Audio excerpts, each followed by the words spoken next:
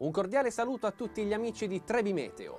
Prima di occuparci di quella che sarà l'evoluzione meteo della tendenza riferita alla prossima primavera, caro Francesco, andiamo a vedere un po' quello che è stato l'inverno fino ad oggi. Esatto, lo vediamo attraverso questa rappresentazione grafica delle temperature, delle anomalie temperature in Europa. Il rosso parla chiaramente di un inverno che non c'è non c'è stato in sostanza. Quindi temperature superiori alle medie stagionali un po' ovunque, in particolar modo lo vediamo anche qui nella cartina sul comparto centro-occidentale dell'Europa. Nonostante sull'Italia centro-meridionale a metà gennaio abbiamo avuto anche un'eruzione fredda con anche nevicate fino a quote basse, anche se è stato un episodio di breve durata. Un episodio che in realtà non ribalta un quadro di una stagione anonima. Una situazione che ce l'avemmo aspettata in avvio di stagione, lo dicevamo che sarebbe stato un inverno sottotono, diciamo che è andato al di là di ogni aspettativa, tant'è vero che la seconda parte invernale più fredda in realtà non c'è stata. Sì, diciamo che l'unico lato positivo, almeno per il momento, è stato un inizio d'inverno molto secco sulle regioni settentrionali, in particolar modo sull'arco alpino, ma per fortuna nel corso delle ultime settimane almeno la neve sulle Alpi è ritornata in abbondanza. Diciamo che ci sono delle, dei peggioramenti più di stampo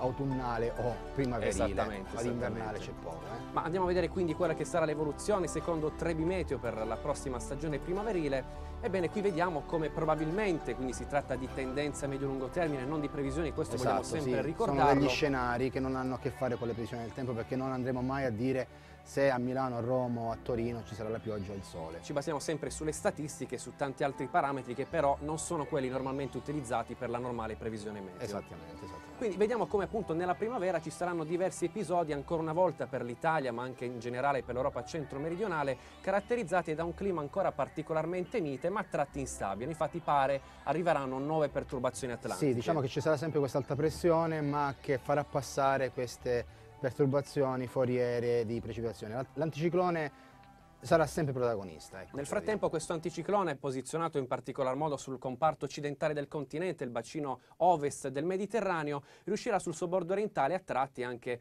questa è l'immagine relativa al mese di marzo, a favorire la discesa di masse d'aria fredda dai Balcani in direzione dell'Europa orientale. A tratti sembra che marginalmente potrebbe interessare anche l'Italia. Sì, rispetto al mese di febbraio l'anticiclone dovrebbe un pochettino posizionarsi più a ridosso dell'Italia e questo favorire anche dei periodi stabili ma anche con dei rapidi e repentini capovolgimenti di fronte. Quindi un po' più stabile invece al nord-ovest e sui versanti di ponente esatto, con questa evoluzione. Sì. Dovrebbero essere le precipitazioni meno probabili. Vediamo il mese di aprile. Aprile sembra che eh, l'alta pressione si ritiri ulteriormente verso ponente, questo favorirebbe ancora la discesa di masse d'aria un po' più fredda dell'Europa settentrionale, quindi una fase un po' instabile sul Mediterraneo, sì. la formazione di qualche depressione, un clima quindi un po' più piovoso sulla nostra penisola. Sì, esatto, perché l'anticiclone sarà, avrà sempre la sua roccaforte tra la il Medio Atlantico, la Spagna, la Francia, tenderà ad allungarsi verso la Gran Bretagna e poi successivamente verso la Scandinavia, questo dovrebbe favorire degli scambi, vengono chiamati scambi meridiani in gergo tecnico, quindi la possibilità di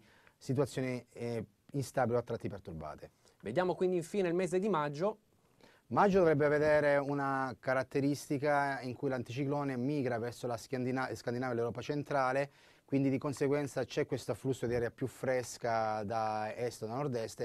Siccome siamo nel periodo di maggio, quindi quasi prossimi all'estate, ci sarebbero condizioni temporesche, special modo sulla dorsale e le zone interne. I classici acquazzoni pomeridiani, quindi temporali esatto. di calore che si sviluppano nelle ore più calde della giornata in prossimità delle aree interne collinari e montuose. Quindi si passa sostanzialmente nel mese di maggio da mattine generalmente soleggiate e tempo un po' più instabile invece nelle ore pomeridiane, quindi ombrelli a tratti anche a portata di mano. Esatto, tutto sommato la primavera dovrebbe essere nel complesso mite, quindi un sopramedia termica. Molto bene Francesco, noi per il momento vi salutiamo e vi invitiamo come sempre per ulteriori dettagli ad aggiornarvi su trebimeteo.com. Arrivederci.